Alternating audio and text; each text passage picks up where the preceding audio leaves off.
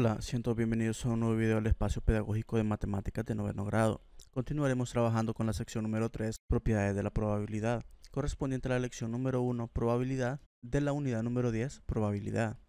Mi nombre es Anthony Medina y te acompañaré en el aprendizaje de este tema. Este video es continuación del video anterior, así que lo llamaremos propiedades de la probabilidad clase 2. El objetivo es determinar las propiedades de la probabilidad y los materiales que utilizaremos son el cuaderno, lápiz, borrador y calculadora. Ese contenido lo pueden encontrar en la página 142 de la guía del docente y en la página 116 del libro de texto del estudiante. Como trabajaremos la continuación del video anterior, haremos algunos ejemplos que refuercen los conceptos que planteamos en él. Así que haremos los siguientes ejercicios. De tres ejemplos de eventos cuya probabilidad sea cero.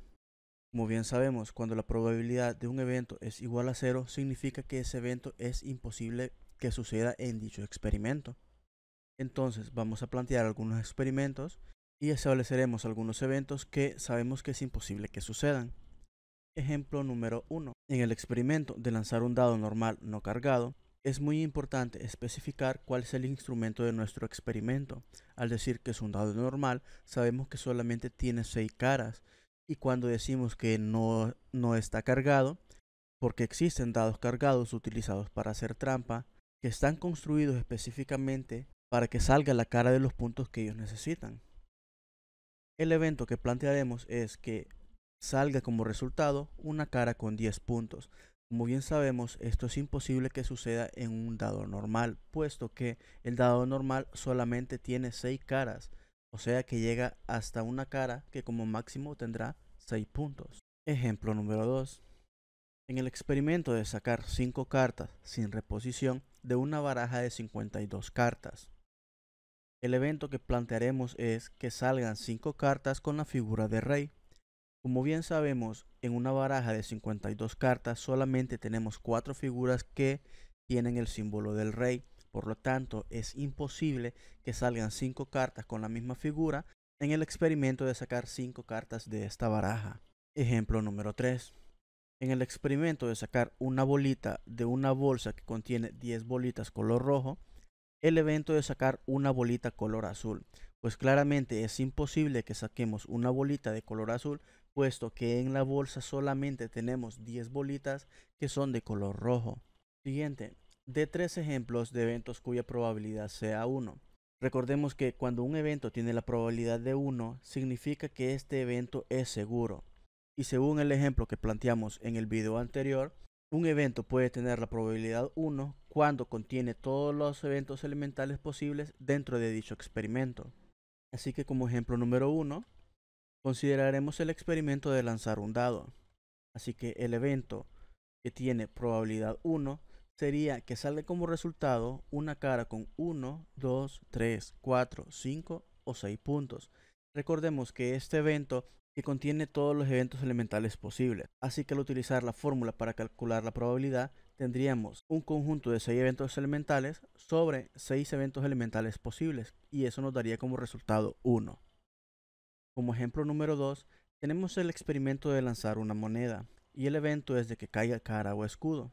En este caso estamos trabajando la moneda de 50 centavos de Lempira, puesto que, como bien sabemos, tan solo en Honduras tenemos cuatro monedas distintas. Sabemos que esas cuatro monedas contienen el símbolo de escudo, pero en su lado opuesto no todos contienen la cara del indio Lempira, otros tienen la leyenda de su denominación. Así que el evento de que caiga cara o escudo utilizando esta moneda tendría la probabilidad de 1. Ejemplo número 3. En el experimento de sacar una bolita de una bolsa que contiene 10 bolitas de color rojo y el evento es de salir una bolita color rojo. Como bien sabemos, este evento contiene todos los 10 eventos elementales posibles. Por lo tanto, la probabilidad de dicho evento será 1. Pasemos al siguiente ejercicio de tres ejemplos de eventos cuya probabilidad sea mayor o igual que 0 y menor o igual que 1.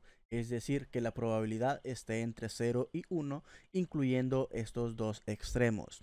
Como ya dimos tres ejemplos cuya probabilidad es 0 y dimos tres ejemplos cuya probabilidad es 1, vamos a delimitar un poco las instrucciones de este ejercicio. Y diremos que de tres ejemplos de eventos cuya probabilidad sea mayor que 0 y menor que 1. Eso quiere decir que siempre va a estar entre 0 y 1 pero en este caso no incluirá al 0 y tampoco incluirá al 1. Como primer ejemplo les tengo el experimento de lanzar un dado y el evento es que salga como resultado una cara con 3 puntos. Como bien sabemos, la probabilidad de este evento es de 1 sobre 6 porque solamente junta un evento elemental.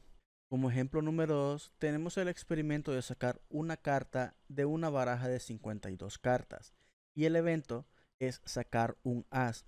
Como bien sabemos, este evento solamente junta un evento elemental, por lo tanto, la probabilidad de dicho evento es de 1 sobre 52. Claramente, 1 sobre 52 está entre 0 y 1. Como ejemplo número 3, el experimento de lanzar una moneda. Y el evento que les traigo es que salga como resultado cara. Ese evento solamente junta un evento elemental, por lo tanto, la fórmula de la probabilidad de este evento quedaría como 1 sobre 2 porque tenemos dos eventos elementales posibles y claramente 1 sobre 2 está entre 0 y 1. Eso ha sido todo por este video. Gracias por tu atención.